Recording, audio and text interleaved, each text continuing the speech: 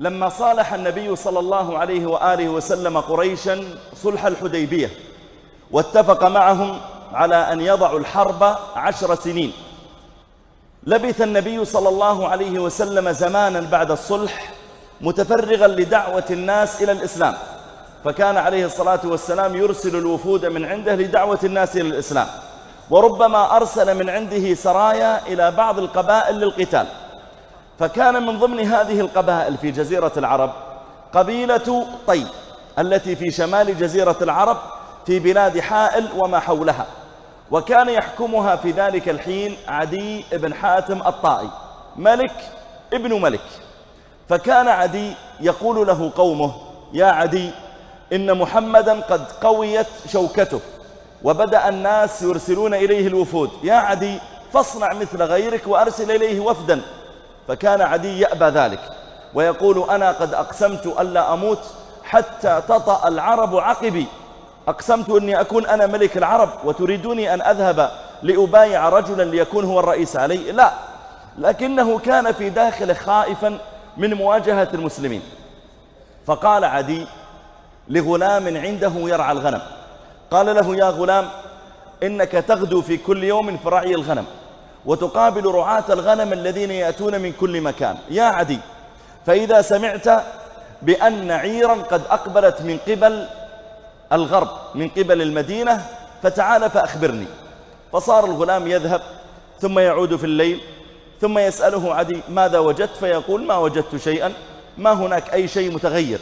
وكان عدي قد أعد مجموعة من الرواحل جهزها بالطعام والشراب للهرب عليها لو أنه حدث أي حدث يهرب مباشرة إلى الشام.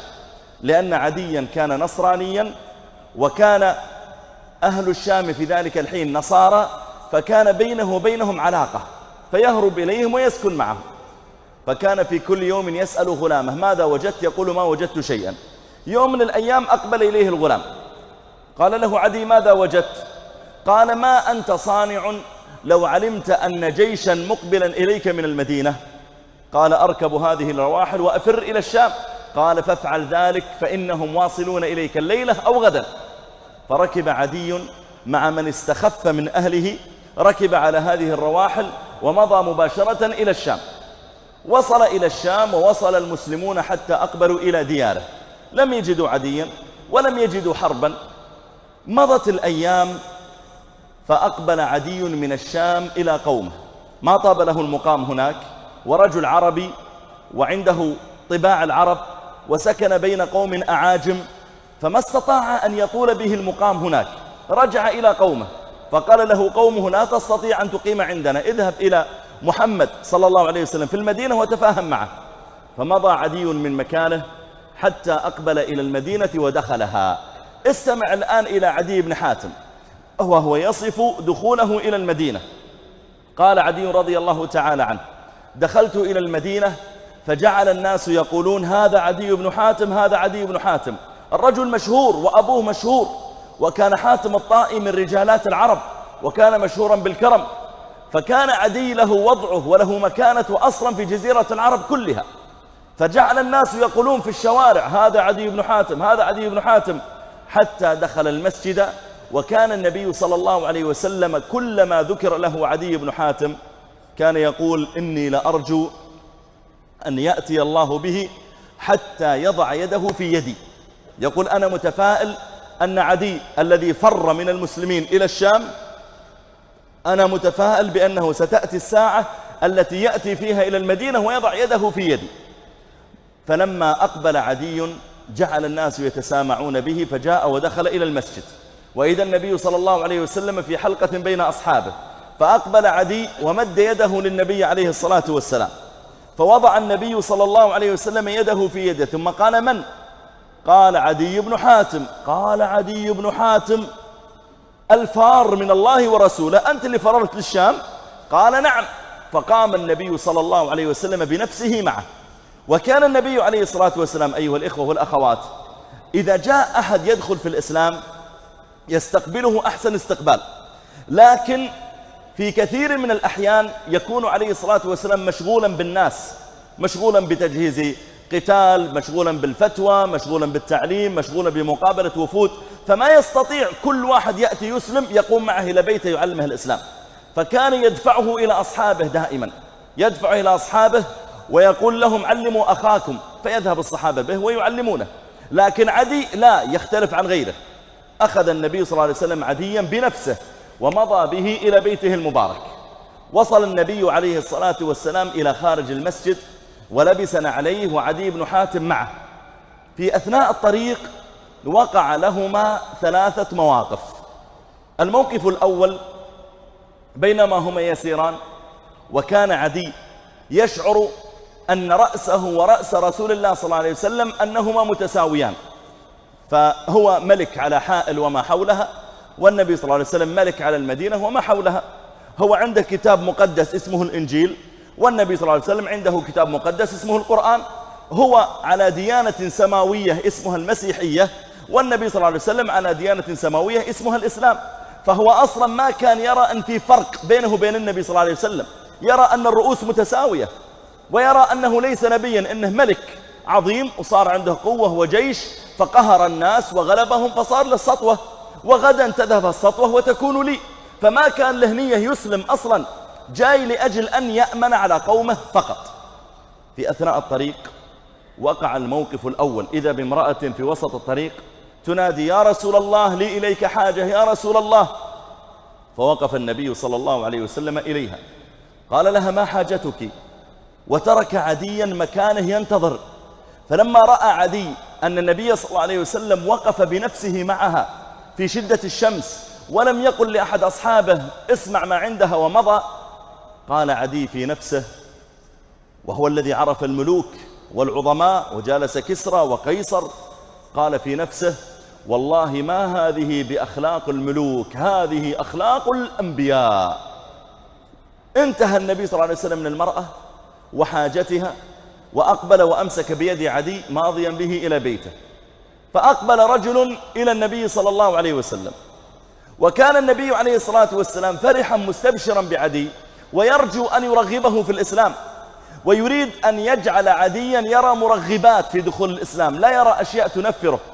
وإذا بهذا الرجل صحابي يقف بين يدي النبي عليه الصلاة والسلام لم يقل يا رسول الله عندي أموال زائدة أريد أن تصدق بها فيشعر عدي أن المسلمين أغنياء. لا.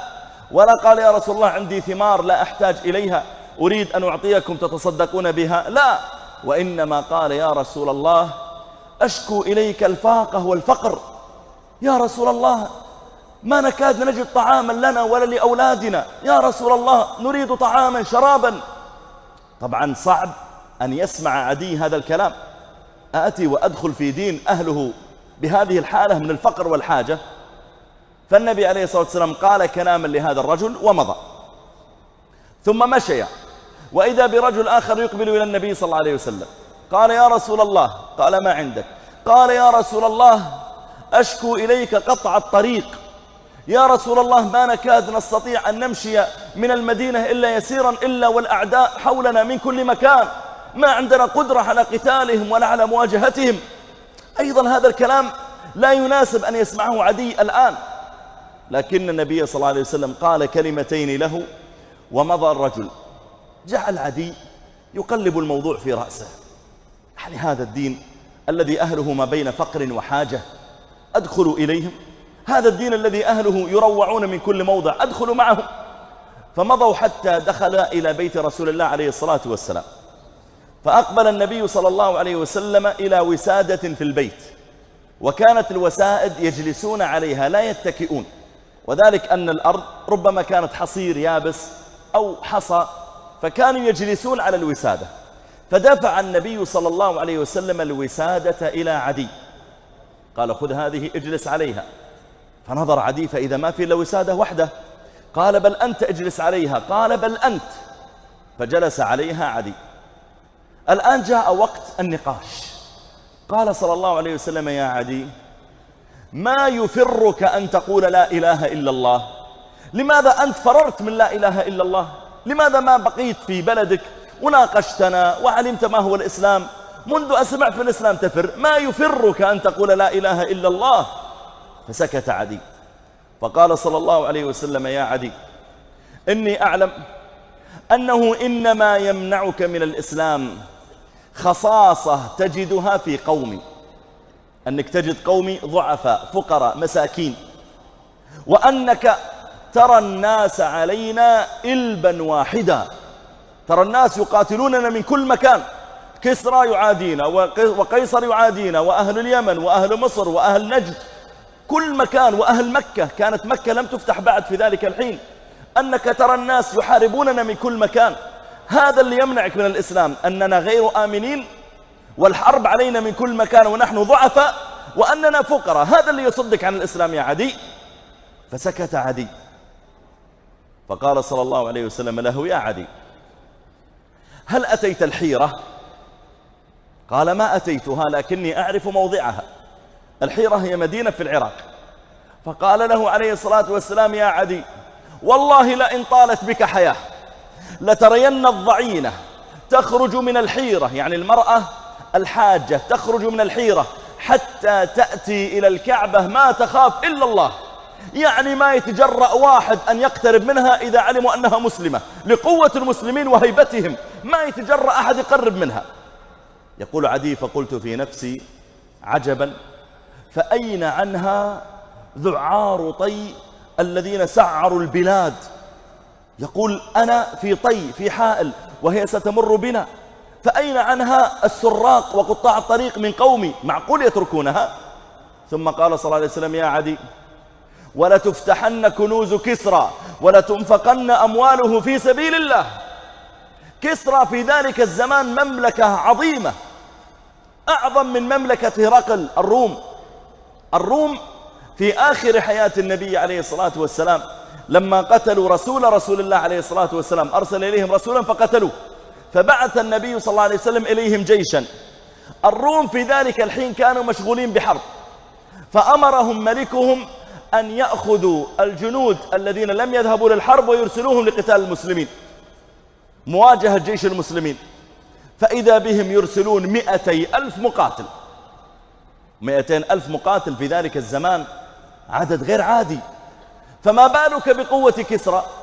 فيقول عليه الصلاة والسلام يكلم عديا وهو الذي لا يأمن على بعد ربما أمتار من المدينة أن يخرج بعض أصحابه لربما قتلوا. يقول له يا عدي ولتفتحن كنوز كسرى ولتنفقن أمواله في سبيل الله. قال كسرى بن هرمز معقول؟ أنت الآن ما فتحت مكة إلى الآن ولا فتحت البلدان وأصحابك لا يأمنون. وتتكلم عن كسرى بن هرمز وتفتح بلده؟ كسرى بن هرمز؟ قال كسرى بن هرمز ولتنفقن أمواله في سبيل الله. يا عدي ولئن طالت بك الحياة لترين الرجل يخرج بملء كفيه ذهبا وفضة لا يجد من يأخذها. الناس يا عدي سيغتنون لن ترى رجلا من المسلمين يأتي ويقول أنا ضعيف ما عندي طعام لأولادي. لا انسى هذا الكلام. سيصل المسلمون يا عدي إلى حال يخرج الرجل بزكاته يقول يا جماعة فيكم أحد محتاج؟ وكل واحد يقول بارك الله فيك. والله أنا عندي زكاة أيضا أريد من يأخذها لا أريد شيئا. يخرجن الرجل بملء كفيه ذهبا وفضة لا يجد من يأخذها. ثم قال صلى الله عليه وسلم يا عدي فما يفرك أن تقول لا إله إلا الله؟ قال عدي إني على دين قال ما دينك؟ قال أنا على دين. فقال عليه الصلاة والسلام أنا أعلم بدينك منك. دينك الذي تدعي أنك متمسك به ولا تريد أن تتركه لدين آخر أنا أعرفه أكثر مما تعرفه أنت. ألست ركوسيا؟ لم يقل له ألست نصرانيا؟ وإنما جاءه بالمذهب الفقهي الذي هو عليه في النصرانية. مثل مثلا لو التقيت برجل في أمريكا منصر فقال لك لماذا لا تتنصر؟ فقلت له إني على دين. فلم يقل لك ألست مسلما ولم يقل لك ألست سنيا وإنما قال لك ألست حنبليا. فتقول في نفسك هذا عنده معرفة كبيرة بديني لدرجة أنه يعرف المذهب الفقهي أو قال لك ألست شافعيا أو حنفيا أو مالكيا. فتقول هذا يعرف معرفة عامة كبيرة دقيقة لدرجة أنه يعرف مذهبي. فالنبي عليه الصلاة والسلام تعدى مرحلة يقول يا عدي ألست نصرانيا؟ لا. قال له ألست ركوسيا؟ قال عدي قلت بلى. قال فإنك إذا غزوت مع قومك إذا ذهبتم غزوة تأكل في قومك المرباع. المرباع يعني تأخذ ربع الغنيمة. قال عدي نعم. فقال صلى الله عليه وسلم فإن هذا لا يحل لك في دينك. بدأ يا جماعة يفتيه بالأحكام الفقهية اللي في دينه. يقول إذا أنت تدعي أنك متمسك بدينك ليش لما تغزو مع قومك تأخذ ربع الغنيمة؟ أنت أصلا غير ملتزم بدينك. اللي تقول ما أريد أني أتركه. يقول عدي فتضعضعت لها. يعني خفضت رأسي وقلت صدقت.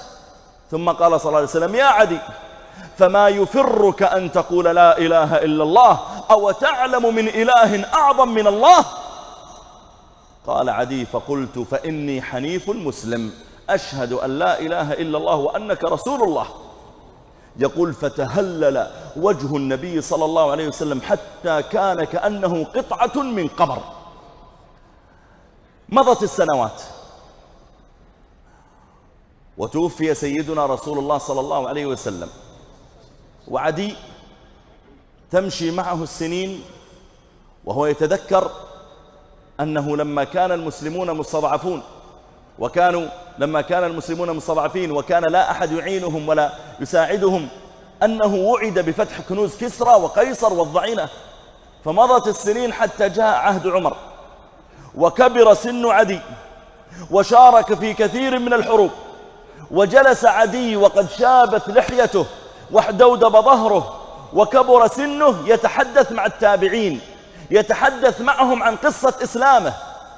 كان يقول لهم فلقد والله حدثني رسول الله وهو الصادق المصدوق حدثني وهو مستضعف في المدينة حدثني وهو ما عنده جيش يستطيع أن يقاتل القبائل اللي حول المدينة حدثني وهو لا يكاد أن يجد طعاما لنفسه أو لأهله أو لغيره.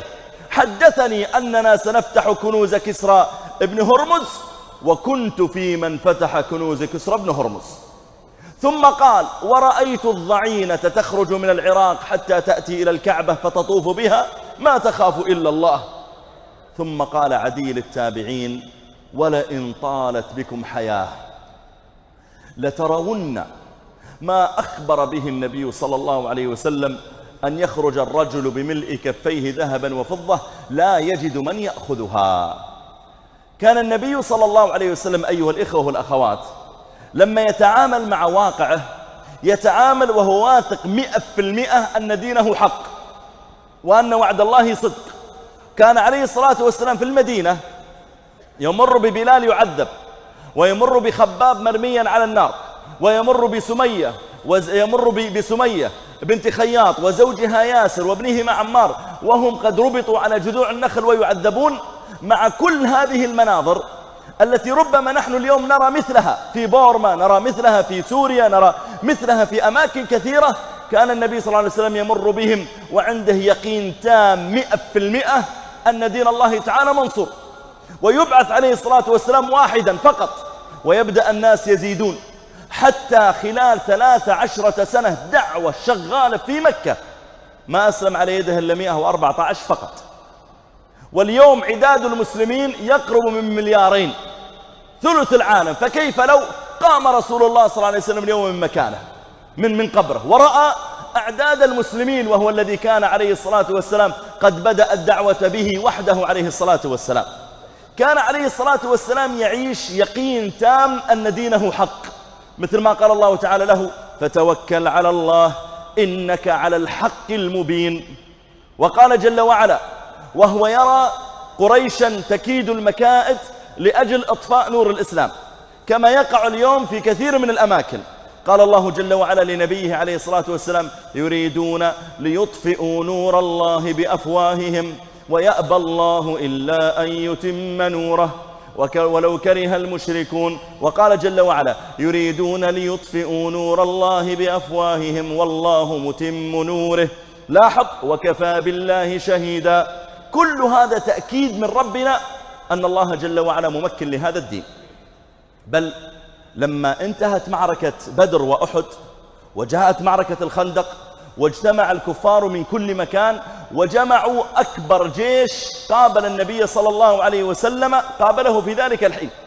عشرة آلاف عشرة آلاف أيها الإخوة والأخوات في ذلك الحين عدد يعتبر كبير جدا. يعني في معركة أحد وهي السنة الرابعة من الهجرة أو الثالثة لما أراد صلى الله عليه وسلم أن يخرج بأصحابه عزم على كل القادرين أن يخرجوا للقتال. ومع ذلك ما خرج معه صلى الله عليه وآله وسلم إلا 950 هذا عدد اللي في المدينة هذا عدد الرجال اللي هم قادرون على القتال 950 إذا لو أضفت إليهم النساء والصبيان ربما ما يصل عدد سكان المدينة كلها في السنة الثالثة للهجرة ما يصلون ربما ولا خمسة ألاف وستة ألاف. فلما وصلوا إلى معركة أحد رجع 300 منافق ولا بقي إلا 650 إذا في السنة الرابعة كم سيكون عدد المسلمين؟ أقبلت قريش بعشرة آلاف. فاستشار النبي صلى الله عليه وسلم أصحابه. فاقترح سلمان قال يا رسول الله العدد كبير. ما نستطيع نواجهه مواجهة جيش لجيش عشرة آلاف. ونحن كلنا لو نتجمع ربما لا نصل إلى ألف أو ألف وخمسمائة فيا رسول الله نحن في فارس. إذا كان الجيش كبير اللي قادم إلينا نبني خن... نحفر خندقا. طريقة بدائية لكنها مفيدة. فأمر النبي صلى الله عليه وسلم وحفروا الخندق وصار يحفر معهم. فأقبلوا قالوا يا رسول الله قد عرضت لنا كدية شديدة لم نستطع يا رسول الله أن, أن, أن, أن, أن نكسرها. توقف الشغل. قال إني نازل فنزل النبي صلى الله عليه وسلم وأخذ المعول. كما عند البخاري من حديث سهل بن سعد يقول فأخذ المعول ورفع عليه الصلاة والسلام. يقول فنظرت إلى بطن رسول الله عليه الصلاة والسلام وكان يلبس إزارا ورداء كلباس الإحرام. يقول فنظرت إلى بطن رسول الله صلى الله عليه وسلم وإذا بطنه معصوب بحجرين من شدة الجوع.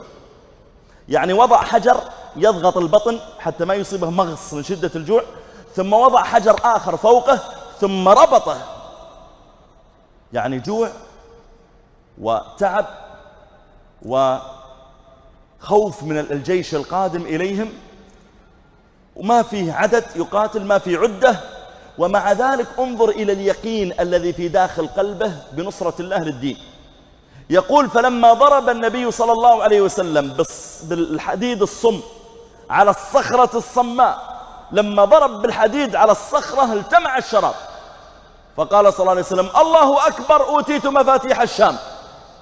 مفاتيح الشام. وأنت تستعد لقتال عشرة آلاف بحفر خندق. مفاتيح الشام. وأنت ما عندك إلا قرابة ألف مقاتل ولا عندكم كفاية من العدد والعدة. مفاتيح الشام. وأنتم تربطون بطونكم من شدة الجوع. نعم مفاتيح الشام. لأن الله تعالى أوحى إليه بأنه سيملك الدنيا وسوف يعم دونه دينه الأرض كلها. ثم قال ثم ضرب النبي صلى الله عليه وسلم الضربة الثانية. قال الله أكبر أوتيت مفاتيح فارس. أعظم من الشام. ثم ضربه الضربة الثالثة. قال الله أكبر أوتيت مفاتيح اليمن. والله إني لأنظر إلى أبواب صنعاء البيضاء من مكان هذا. فأما المؤمنون فقالوا هذا ما وعدنا الله ورسوله. وصدق الله ورسوله وما زادهم إلا إيمانا وتسليما. وأما المنافقون فقال بعضهم لبعض ما وعدنا الله ورسوله إلا غرورا. ويموت النبي صلى الله عليه وسلم ويمضي عليه الصلاة والسلام إلى ربه ولم يرى صلى الله عليه وسلم شيئا من فتح الشام ولا فتح فارس عليه الصلاة والسلام. لكن أصحابه رضي الله تعالى عنهم رأوا ذلك وأيقنوا بصدق عليه الصلاة والسلام. وكان نبينا صلى الله عليه وسلم يحدث أصحابه دائما أن هذا الدين منتصر. فيقول عليه الصلاة والسلام إن الله زوى لي الأرض يعني جمع لي الأرض فرأيت مشارقها ومغاربها وإن ملك أمتي سيبلغ ما زوي لي منها. وقال عليه الصلاة والسلام بشر هذه الأمة بالسناء والرفعة والتمكين. وقال عليه الصلاة والسلام لا يبلغن هذا الأمر ما بلغ الليل والنهار ولا يبقين الله بيت مدر ولا وبر إلا أدخله الله هذا الدين بعز عزيز أو بذل ذليل عزا يعز الله به الإسلام وأهله وذلا يذل الله تعالى به الشرك وأهله. وكان نبينا صلوات ربي وسلامه عليه وهو خير رسل الله عز وجل يقرر في قلوب أصحابه نصرة هذا الدين حتى صار الواحد منهم ما عنده شك أبدا في أن الله تعالى ناصر دينه. وكان النبي صلى الله عليه وآله وسلم يعمل جاهدا على نشر الإسلام. وإذا نظرت اليوم في حال انتشار الإسلام رأيت عجبا. ويحق لنا أن نسأل ما هي الأسباب أصلا التي جعلت الإسلام ينتشر وجعلت الإسلام يظهر وكلما قوي الإسلام حتى أصبح اليوم الإسلام هو أقوى وأسرع الأديان انتشارا. وبين يدي إحصائيات موثقة تبين لكم فعلا عظم انتشار الإسلام في العالم. اطلعت بالأمس على إحصائيات مترجمة. مترجمة عن منظمات عالمية متخصصة في الأديان. تقول إنه خلال الخمس سنوات الماضية في كل دقيقة ونصف يدخل مسلم جديد في الإسلام. خلال السنة كاملة. يعني خلال محاضرتنا هذه مثلا ساعة كاملة في كل دقيقة ونصف منها يدخل مسلم جديد في الإسلام. بمعدل ما بين 25 مليون إلى 30 مليون سنويا. مليون ليس ألف مليون. هذه الأعداد هي الأعداد الرسمية التي تعلم عنها الدول. أما من يسلمون دون أن يبلغوا الدولة فهم ربما أعظم من ذلك وأكثر. بمعنى أن هذه الأعداد أيها الأفاضل هي التي تسجلها الحكومات. بحيث أن يأتي إلى الحكومة يقول مثلا أنا أريد أن أغير اسمي فيقول ما هو السبب؟ يقول أسلمت. أو امرأة تريد أن تتزوج أو كذا فطيب أسلمت. فهي إذا جاءها من يقول لها أنا أسلمت تسجلها أنها أسلم. بينما أعداد الذين يسلمون وربما لا يخبرون الحكومة أصلا بإسلامهم هؤلاء أعداد غفيرة ربما كان العدد ضعف هذا العدد مرتين أو ثلاث. بل إنني علمت من خلال السفر إلى عدد من البلدان أن أعدادا كبيرة من الوجهاء أساتذة الجامعات ومن غيرهم أنهم يدخلون في الإسلام ولا يعلم بهم أحد لمدة خمس سنوات وست سنوات ويعملون للإسلام ولهم نشاط في الإنترنت وربما أيضا لهم نشاط آخر دون أن يظهروا ذلك خوفا على وظائفهم وعلى أنفسهم. هو الذي أرسل رسوله بالهدى ودين الحق ليظهره على الدين كله. الإسلام أيها الإخوة هو أصلا جذاب بطبيعته. إذا علم الإنسان بعقيدة المسلمين وسهولتها وسهولة الدخول فيها وأنه ليس هناك شيء من التعقيد الذي يكون فيها فإنهم يسلمون. المغول أقبلوا في سنة 656 غازين للبلدان الإسلامية وقتلوا ما قتلوا المغول والتتار. ثم انتهى به بهم الأمر أن دخلوا في الإسلام. الجنود الأمريكان الذين أقبلوا إلى العراق أعداد كبيرة منهم دخلوا في الإسلام وهم إنما أقبلوا غساة بل اليوم حتى في فلسطين المحتلة ما يسمى إسرائيل ما يسمى إسرائيل آخر الإحصائيات أنه في العام الماضي دخل في الإسلام هذا الذين دخلوا وعلمت عنهم الحكومة وجاءوا وسجلوا أنهم أسلموا. 82 شخص. هذا من اليهود أنفسهم الذين يسكنون اليوم في فلسطين المحتلة المسمى بإسرائيل. بمعدل إذا قسمت 82 على أعدد أيام السنة يعني تقريبا في كل ثلاثة أيام هناك مسلم جديد يهودي يدخل في الإسلام. هذا فضلا أيها الإخوة والأخوات عن غيرها من البلدان. ولذلك سبحان الله تجد أحيانا بعض الناس إذا أراد أن يذم الإسلام يدخل فيه. أذكر أني قابلت شابا هولنديا في هولندا وله نشاط في الدعوة إلى الإسلام وعمره يمكن 25 سنة. فقلت له كيف أسلمت؟ قال ستعجب من قصتي. قلت كيف؟ قال أنا كنت لا أحب الإسلام ولا المسلمين وأرى أن الإسلام يشدد على المسلمين ويضيق عليهم. يقول فكنت أناقش في أيام الثانوية أناقش شابا مسلما وأحاول أن أبحث عن أي شيء أحرجه به. وكان هذا الشاب المسلم باكستاني هو أصله باكستاني لكنه هولندي من المهاجرين الذين هاجر آباؤهم إلى هولندا. يقول فجعل يناقشني فذهبت وجعلت أقرأ عن الإسلام حتى أبحث عن الخلل والثغور التي أستطيع أن أحرجه بها. يقول فجلست ثلاثة أسابيع أقرأ عن الإسلام وإذا بي أقتنع بهذا الإسلام وأسلم وأصبح الآن من الدعاة. ولا يغلبن مغالب الغلاب.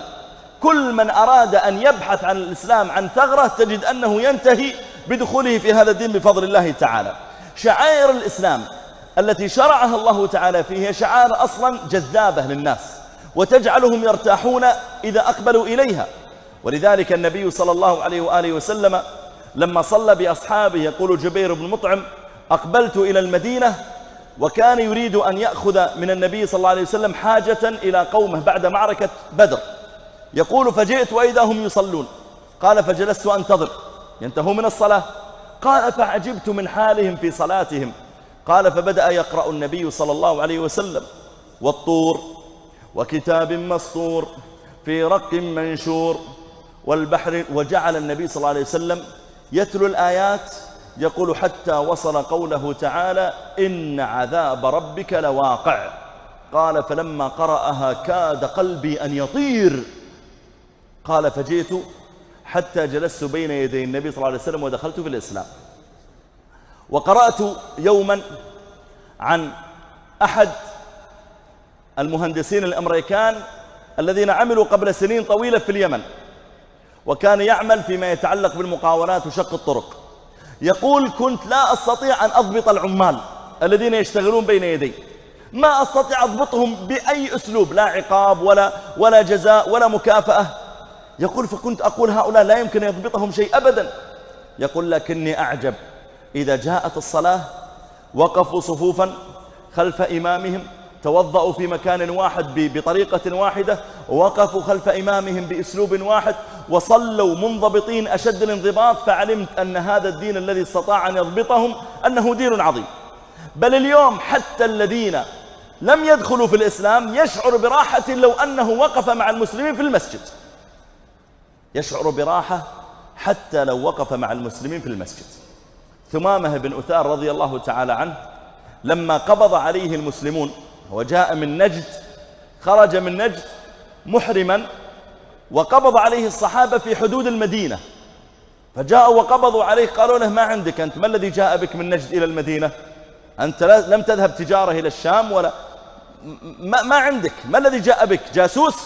قال لا إنما خرجت محرما. قالوا محرما. المحرم يذهب إلى مكة جنوب.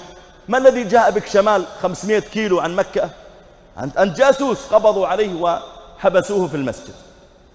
أمر النبي صلى الله عليه وسلم بإحسانه إليه وصار ينظر إلى المسلمين يصلون كل صلاة ويستمع إلى القرآن. ما لبث ثلاثة أيام إلا واغتسل ودخل في الإسلام.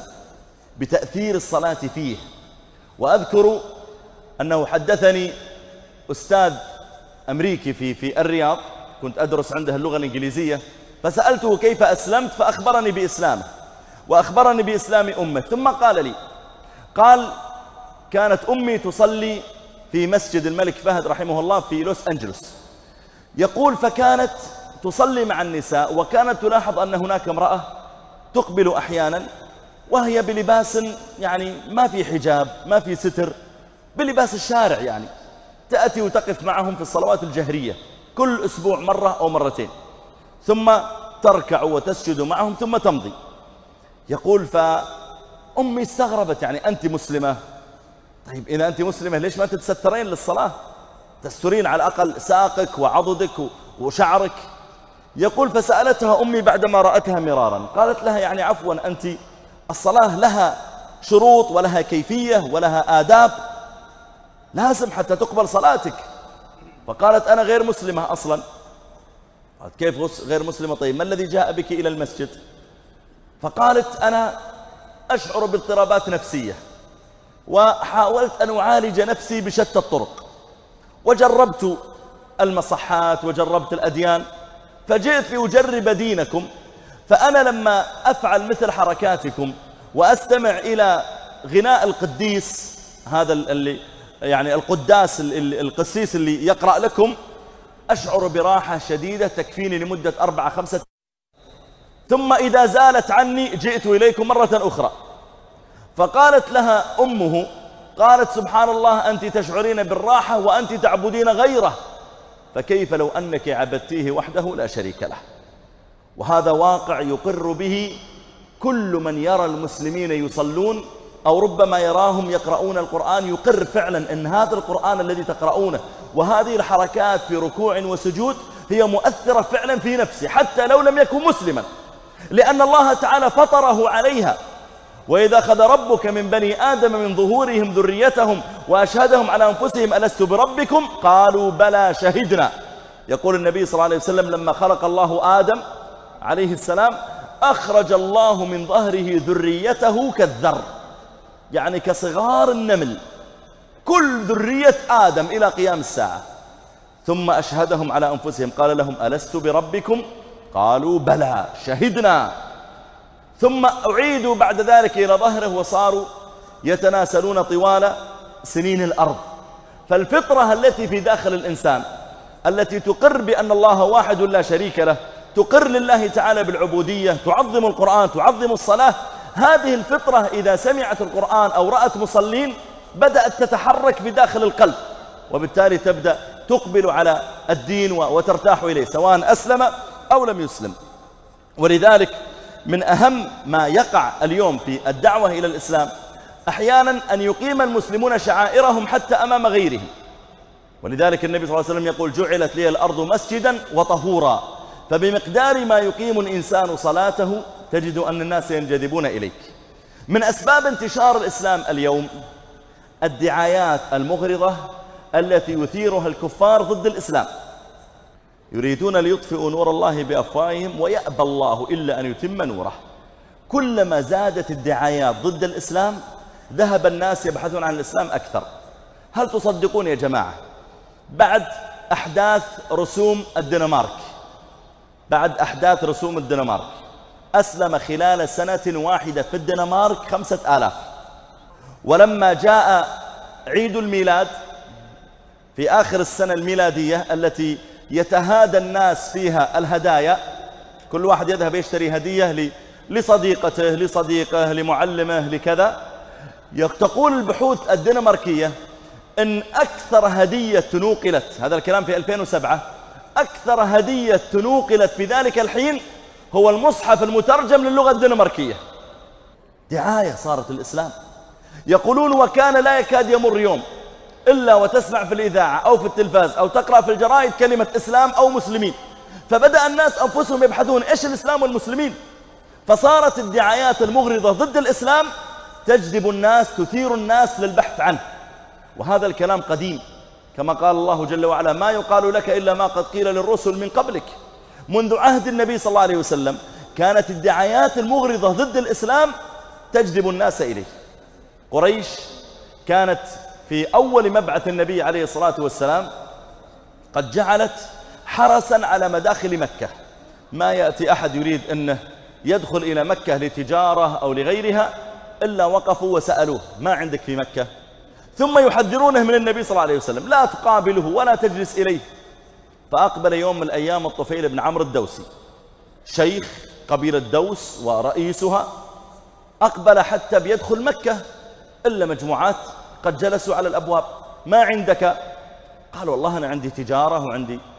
قالوا سمعت بواحد ساحر في مكة. قال لا ما سمعت ساحر في مكة.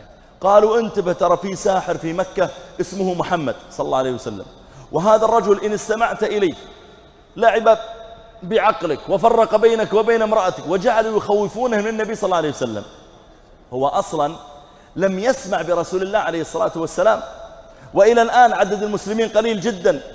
فهم الذين جاءوا وأخبروا قالوا ترى فيه نبي اذهب وابحث عنه. مثل ربما لو أن إمام مسجد جاء وخطب الجمعة وقال أحذركم من القناة الفلانية التي تعرض البرنامج الفلاني كل سبت الساعة مثلا السابعة ليلا وهذا البرنامج فيه فتيات حسناوات يفتن الشباب أحذركم من هذه القناة اللي الساعة سبع كل سبت طلع هالبرنامج.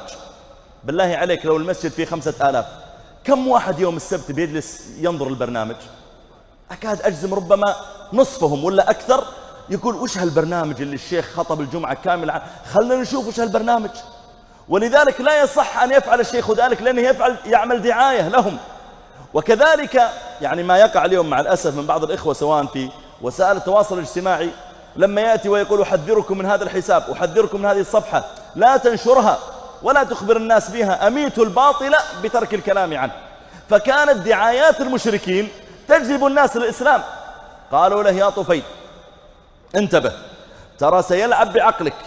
يقول لم يزالوا يخوفونني حتى أخذت الكرسف القطن وحشوت به أذني. سد أذانه خوفا من أن يسمع من النبي صلى الله عليه وسلم مصادفة كذا كلمة ويخرب عليه دينه. فأقبل ودخل وهم يرى الناس يحركون أفواههم ولا يفهم ماذا يقولون لأن قد سد أذنيه. ما هو الرجل بيبيع بيشتري؟ ثم جعل يقول في نفسه أنا رجل شيخ قبيلة وعاقل وأعرف كلام الكهنة والسحرة أنا أعرف أتعامل مع هالمواقف. كيف يعني يلعبون بعقلي ويقولون لي كلمتين وأسد أذني بالقطن؟ فجاء ونزع من أذنيه القطن. ثم أقبل ورأى النبي صلى الله عليه وسلم يصلي عند الكعبة. فأعجبه هدوء النبي صلى الله عليه وسلم وخشوعه وإذا حركاته في ركوعه وسجوده لا تدل على أن الساحر أو مجنون أو كاهن. فأقبل حتى انتهى النبي صلى الله عليه وسلم من صلاته. وجاء يبحث من هذا الذي حذروني منه؟ قال أنت الذي تزعم قريش أنك ساحر؟ قال هم يزعمون ذلك. قال أنت ساحر؟ أنت فعلا تسحر الناس؟ ما يدري الطفيل. قال النبي صلى الله عليه وسلم هم يقولون ذلك هم يقولون عليه ساحر. قال أسمعني مما عندك. فجعل النبي صلى الله عليه وسلم يتلو عليه القرآن. فلم يجاوز الطفيل خطوة بين يدي النبي صلى الله عليه وسلم إلا وقد تلفظ بالشهادتين. السؤال ما الذي دله أصلا على رسول الله عليه الصلاة والسلام؟ هل النبي صلى الله عليه وسلم كان يضع الصحابة على مداخل مكة يستقبلون الناس تعالوا عند الرسول حتى يدعوكم؟ لا. وإنما سخر الله تعالى غيره لأجل أن يدعو الناس للدخول في هذا الإسلام. والذي حدث أيها الإخوة حتى في الدنمارك بعد الرسوم المسيئة وقد ذهبت بنفسي والله بعدها وسألت الإخوة في الدنمارك في أودنسا وفي كوبنهاجن وفي في أورهوس وفي غيرها درت على عدد من المناطق أسألهم كيف إقبال الناس على الإسلام؟ قالوا والله عجب. وأنشأوا منظمة اسمها منظمة نصرة النبي صلى الله عليه وسلم في الدنمارك.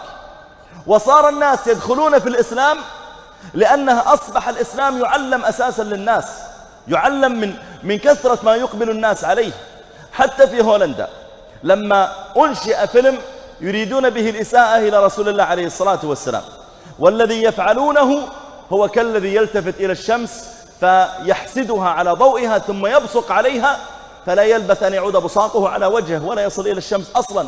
في هولندا أيضا الإخوة الذين هناك في الوقف الإسلامي في أندهوفن وفي غيره وقد زرتهم وقرأت عدد من التقارير يقولون إنه بعدما نشر هذا الفيلم وتكلمت الجرائد عنه بدأ الناس يقبلون على المساجد يسألون إيش الإسلام؟ ليش أنتم زعلانين على محمد هذا؟ وقد سألني هذا السؤال رجل في بريطانيا. رجل كان معلما وكنت يعني أيضا أدرس عنده اللغة. فقال لي أنتم ليش سويتوا مشكلة لما الدنمارك رسموا رسولكم؟ حدثني عن محمد هذا. إيش محمد اللي أنتم عملتوا مشكلة عليه؟ ما هو نحن نرى يعني عيسى وما يستهزأ به عندنا. ما, ما عندنا مشكلة. ليش أنتم زعلتوا على محمد؟ فقلت لا أولا نحن ما نزعل على محمد صلى الله عليه وسلم وحده. بل لو استهزأتم بعيسى لزعلنا أيضا. أو موسى أو غيره. نزعل. لا نفرق بين أحد من رسله. كل الأنبياء عندنا لهم مكانتهم ولهم مقامهم. ثم فقال لي طيب حدثني عن محمد هذا إيش هو؟ فجعلت أحدثه بما أستطيع ثم أعطيته كتابا مترجما الإنجليزية عن أخلاق النبي عليه الصلاة والسلام. الكتاب 350 صفحة تقريبا. والله يا جماعة جاءني بعد يومين أعطته إياه الجمعة. جاء يوم الاثنين للدوام قال أنا مع شدة انشغالي في الويكند إلا أني قرأت من هذا الكتاب 83 صفحة. ثم قال لي فعلا يحق لكم أن تغضبوا إذا كان هذا الرجل بهذه الأخلاق. وصار ما يثيرونه هم على رسول الله عليه الصلاة والسلام في الحقيقة هو يجذبهم أكثر من أنه يبعدهم عن الدخول في الإسلام. مما يجعل الإسلام ينتشر اليوم أيضا من فضل الله قلة النماذج الحسنة في الأديان الأخرى. يعني القساوسة مثلا ما يكاد يمر يوم إلا وتسمع فضيحة عن القساوسة. فضيحة وقعت قسيس مثلا أكرمكم الله يقع في جرائم جنسية تتعلق بالأطفال أو مثلا يقع في كذا من الأموال أو غير ذلك. فصار الناس لا يثقون أصلا في قساوستهم. وأيضا بدأ القساوسة أنفسهم يدخلون في الإسلام. وإذا نظرت في التاريخ ابحث عن عدد من الذين دخلوا في الإسلام من القساوسة سوف تعدهم. وتقول نعم هذا كان قسيسا ودخل في الإسلام وهذا كان قسيسا ودخل في الإسلام هذا في أمريكا وهذا في كندا وهذا في الفلبين. بينما من فضل الله تعالى هؤلاء القساوسة طبعا لما أسلموا صار عندهم برامج اليوم في التلفزيون وعندهم كتب. بينما أتحدى أبحث في التاريخ من لدن رسول الله عليه الصلاة والسلام إلى اليوم إلى اليوم. لن تجد عالم من علماء المسلمين تحول نصرانيا. صح؟ أنا أسأل دائما النصارى لما أجلس أتحاور معهم. أقول له هل تعلم في التاريخ قسيس تحول مسلما؟ فيقول يس. نعم فيه قساوسة تحولوا مسلمين. صحيح. وعندهم كتب؟ يقول نعم. وعندهم مواقع في النت؟ نعم. فأقول له هل تعلم في التاريخ كله عالما من علماء المسلمين؟ ما أقول رجل بسيط وعادي ما يدري الإسلام وتنصر عالما من علماء المسلمين. تحول نصرانيا. فإذا بك لا تجد هذا أبدا. مما يدلك على قوة الإسلام وعلى تمسكهم به. بل أحيانا بعض النماذج من هؤلاء القساوسة النماذج السيئة تجعل الناس أصلا لا يتمسكون بدينهم. أنا أذكر قبل كنت ثلاث سنوات تقريبا ألقيت محاضرة في مركز إسلامي كبير في برلين في ألمانيا. وكانت المحاضرة خاصة بالألمان. وكان الأصل أنها تكون في قاعة خارجية حتى يحضر الألمان غير المسلمين لكن لم يتيسر فجعلناها في المسجد وفعلا حضر الناس غير مسلمين وهم أكثرهم أصدقاء للمسلمين اللي يرتادون المسجد. صديقة في جاره مثلا أو في العمل حضر أكثرهم مسلمين لكن في بعضهم غير مسلمين. في أثناء المحاضرة دخل رجل وتخطى الصفوف وجاء وجلس أمام الطاولة بينه وبين الصف الأول. المكان ضيق حتى تضايق الناس وسحبت الطاولة شوي. فلما كانت في آخر العصر في رمضان فلما بقي على أذان المغرب يمكن خمس دقائق ختمت المحاضرة وشكرتهم بعد ما أخذنا الأسئلة وقلت أنا خمس دقائق الآن تتوضؤون اللي يفطر في المسجد ويذهب إلى بيته يعني بارك الله فيكم خلصنا. فرفع يده. فكانت المحاضرة مترجمة بالألماني طبعا. فقلت له بالإنجليزي خلاص ما نقدر ناخذ أسئلة. أجاوب سؤالك بعد الصلاة. قال أنا ما أصلي أصلا. أنا ما عندي سؤال. قلت إذا ماذا تريد؟ قال أنا جيت أريد أني أدخل في الإسلام. قلت يا مرحبا. قم تعال. وأجلسه بجانبي. والمقطع موجود في اليوتيوب ربما الإخوة يعني يجدونه. ف وإذا هو إيطالي مقيم في ألمانيا. عنده التجارة يعني تجارة بسيطة. فسألته قلت له ما الذي جعلك تقبل على الإسلام؟ قال جعلني أترك النصرانية وأقبل على الإسلام شيئان قلت ما هما؟ قال الشيء الأول أني لما أدخل إلى الكنيسة لأصلي أشعر أنني أعبد أصنام لأني في الكنيسة هنا صنم. يزعمون أنه لعيسى صنم يزعمون أنه لمريم عليه وعليها السلام. هنا صنم للقسيس فلان. هنا صنم للحواري اللي مع عيسى. هنا صنم لمن؟ يقول أشعر إني أتوجه لأصنام ما أتوجه إلى الله. هذا شيء. الشيء الثاني قال وأيضا أن القساوسة عندنا يسرقون أموالنا. وأني آتي إلى القسيس أتبرع الكنيسة ثم ألاحظ بكرة ولا بعده أن القسيس لابس ساعة جديدة ولا معاه جوال جديد أو يقول لي هذا الكلام. يقول بالتالي أدري أن هذه فلوسي اللي أنا تبرعت بها للكنيسة. وأنا لا أثق فيهم وهم ليسوا مثالا حسنا أصلا لديننا. ما عندنا نماذج متمسكة حقا بالدين تجعلني أقبل عليه. ولذلك أنا جئت لأجل أني أدخل في الإسلام. وجود نماذج من فضل الله اليوم في الإسلام قوية متمسكة تجعل الناس فعلا يحبون هذا الإسلام أكثر. أيضا أخلاق المسلمين هي من أكبر الدوافع لدخول غير المسلمين في الإسلام. والله يا جماعة أنا بل النبي عليه الصلاة والسلام قال الله تعالى له فبما رحمة من الله لنت لهم. طيب لو لم أكن لينا يا ربي إيش الاحتمال الثاني؟ قال الله ولو كنت فظا غليظ القلب. إيش النتيجة؟ لم فضوا من حولك. ينفضوا من حولي وأنا نبي نعم. فاعف عنهم واستغفر لهم وشاورهم في الأمر. كنت قبل سنة تقريبا كان الدكتور خالد العبري وهو من أهل هذه المنطقة كان رئيس المركز الإسلامي في بروكسل في بلجيكا. فذهبت إلى هناك وكان هناك امرأة بلجيكية جاءت بولدها ليدخل في الإسلام. والعجيب أنها المرأة جاءت واضح من مظهرها أنها غير مسلمة. لا عليها حجاب ولا لباس ساتر لباس, لباس الشارع يعني. فسألها الدكتور خالد أذكر. قال لها أنت ليش يعني أنت جئت هي تقول له علم ولدي الإسلام علمك كيف يسلم وحفظوه قرآن وعلموه الصلاة. قال طيب أنت مسلمة؟ قالت لا. قال عجبا طيب ليش ما تسلمين؟ وبعدين يسلم ولدك. قالت لا أنا ما أبغى أسلم أبي ولدي بس يسلم. قال عجيب لماذا؟ فقالت إن الأولاد عندنا إذا وصلت أعمارهم إلى ثمانية عشر تسعة عشر وبدأت الحكومة صرفت له بطاقة وصار يأتيه على حساب الصراف يأتيه فلوس. خلاص يعني صار ليس طفل.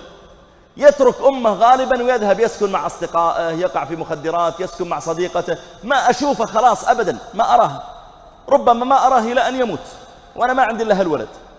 وجاراتي كذا. ولدها وصل 18 19 صرفت له بطاقة وصار الحساب يأتيه عانه من الحكومة. خلاص صار عنده فلوس. تقول إلا واحدة من جاراتي ولدها الآن عمره 21 فرحانة أنه كمل ثلاث سنين عند أمه. 21 سنة وإلى الآن ساكن عندها. ويطلعها ويجيبها ويتقضى البيت. تدري ليش؟ لأنه مسلم. والإسلام يأمره بذلك. فأنا ولدي الآن بقي على 18 بقي كم شهر. أريده يسلم وتخليه يتمسك بالإسلام. يقول فحمدت الله على ذلك. ويقول جعلت أحدثه عن بر الوالدين في الإسلام. والولد عمره 17 وكم شهر ويهز رأسه. نعم نعم. يقول وأجيب لك قصص عن بر يقول فبدأت الأم تبكي وتنشج. بكاء شديد. وهو يتكلم معه عن بر الوالدين وكيف الإسلام يأمر ببرهما والإحسان إليهما. يقول ونطق الولد الشهادتين. وبعد ثلاثة أسابيع جاءت المرأة ودخلت في الإسلام. أخلاق المسلمين التي مارسها قبلنا رسول الله صلى الله عليه وسلم هي من أكبر الأساليب التي جعل الناس يهتدون بها ويدخلون بها في دين الله أفواجا. وكثير من المسلمين اليوم حتى المقيمين في الخارج تجد أن أعدادا ممن يدخلون في الإسلام هم في الحقيقة يدخلون في الإسلام تأثرا بهؤلاء المسلمين الذين تأثروا بهم. ولذلك يحذر كل من يتعامل مع مسلم أو مع غير مسلم من أن يسيء خلقه معه. النبي عليه الصلاة والسلام لما أرسل معاذا إلى اليمن جعل صلى الله عليه وسلم يمسك بخطام الناقة ومعاذ فوق الناقة واختاره النبي صلى الله عليه وسلم لأن معاذا عنده من المهارات والقدرات والأخلاق ما يصلح أنه يذهب إلى بلد يدعوهم للإسلام. فجعل صلى الله عليه وسلم يقول له يا معاذ إنك تأتي قوما أهل كتاب فيعطيه التوجيهات ثم قال له يا معاذ لعلك لا تلقاني بعد لقائي هذا. وفعلا ترى لما رجع معاذ من اليمن فإذا النبي صلى الله عليه وسلم قد توفي. قال يا معاذ لعلك لا تلقاني بعد لقائي هذا. قيل لمعاذ فما آخر وصية وصاك بها النبي صلى الله عليه وسلم؟ فقال معاذ كان آخر ما وصاني النبي صلى الله عليه وسلم به أن قال يا معاذ حسن خلقك للناس. يا معاذ حسن مفتاح القلوب حسن خلقك للناس. ولذلك يا إخواني إذا سمعت من القصص لمن هم يعني ابتعثوا إلى إلى الخارج ودرسوا هناك وعلمت من أخلاقهم ومن لطفهم مع الآخرين تجد أنهم سبحان الله الأخلاق هي المفتاح التي فتحوا بها قلوبهم. وأذكر أني لما كنت هناك في بريطانيا سكنت مع رجل كبير في السن. وكان هذا الرجل وصلت يمكن الجمعة ليلا والدراسة تبدأ يوم الاثنين فكنت السبت والأحد يعني راحة. وكنت يعني سأخطب الجمعة الجاية وجايب معي بشت ومعلقة في الدولاب ولا ودي يعرف أني يعني مثلا شيخ أو خطيب جمعة حتى ما يأخذ مني موقف من البداية. فكنت أقول خلني هالأسبوع أتلطف معه. ثم إذا يعني أحبني وكذا عرف أني إمام ما في مشكلة لكن ما أريد من البداية ثم يقول اعذرني لا تسكن معي. وهو مكانه مناسب وغرفة معها حمامها خاص وقريب من المعهد. فلما جاء يوم الأحد يوم السبت بقيت معه وأتحدث معه. لما جاء يوم الأحد وإذا الرجل لابس جبة سوداء وصليب وبيطلع اسمه جون قلت يا جون وين رايح؟ قال بطلع للكنيسة. قلت طيب ليش لابس لبس قساوسة؟ قال أنا القسيس حق الكنيسة. قلت أنا ساكن عند القسيس. أنت القسيس حق الكنيسة؟ قال يس. قلت أجل تراي قسيس المسلمين. الوعد الجمعة والله تشوفني ببشتي وفعلا جاء الجمعة صر صر صارت صداقة يعني ويمكن عمره حول الثمانين سنة هو لكن نشيط يعني. فكان له زوجة ما هي بساكنة عنده. جاءت زوجته كبيرة أيضا في السن يعني ثمانين تقريبا. وجلست عندها أظن أسبوع أو, أو قريبا من ذلك. وكانت تراني من فضل الله يعني أتعامل معهم تعامل جيد. إذا رحت مثلا جاي من المعهد أمر البقالة أشتري مقاضي وأجيبها. مقاضي يعني يسيرة ما تكلف لكنهم غير, غير متعودين على واحد يدفع أجار ويتقضى للمطبخ. ويجيب لهم عصير يجيب تفاح يجيب برتقال وكانوا يقولون تسمح لنا ناكل من التفاح؟ تسم... أقول إيه أنت أنت يار أنت أنت مثل أبوي وزوجتك مثل أمي أبد كلوا. فلما جئت أمشي جلست يمكن أسبوعين تقريبا أو أو ثلاثة. فلما جئت أمشي كان عدد من الإخوة جايين بيوصلوني للمطار فمطلع شنطتي ثقيلة جدا أجرها من الغرفة. أبى أطلعها وأقبل الشاي بحلف أنه هو اللي يشيلها. يقول لا أنا قلت أنت يلا تشيل نفسك وتشيل الشنطة. قال لا بشيله ويبدأ يجرها. ثم حطيت الشنطة هناك ورجعت أسلم عليه. فكنت أسلم عليه وكانت زوجته العجوز واقفة جنبه. وكان يبكي وهي تبكي. إي والله. فكنت أسلم عليه وأنا أقول في نفسي يعني آه لو مدت يدها أصافحها مشغلني الموضوع وأنا أقول له thank you very much وكذا وأنا أشكركم على لطفكم و... وأقول في يدي الحين العجوز عسى ما تمد يدها. هل يجوز مصافحة العجوز دي؟ ولا ما يجوز مصافحتها؟ مشغلني الموضوع وأنا أسلم عليه وأنا أبي أقول لها thank you كذا وأمشي ما أبغى أصافح. فلما انتهيت مسلم عليه توني بلتفت أقول لها مع السلامة يعني من بعيد. وإذا العجوز تبكي بعدين قالت لي مدت يدينها كذا وقالت please big hug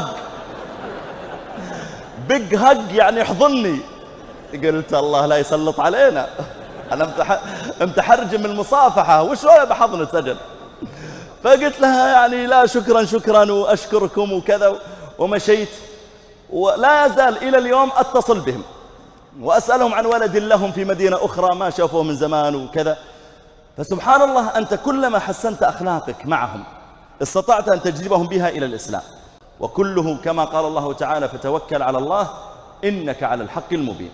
اللهم إنا نسألك يا حي يا قيوم يا ذا الجلال والإكرام ألا تدع من بيننا ولا من أحبابنا مريضا إلا شفيته ولا عقيما إلا ذرية صالحة رزقته ولا من عليه دين إلا يسرت له قضاء دينه. يا عظيم المن يا رب العالمين يا حي يا قيوم يا من كان نعم المجيب لنوح لما دعاه.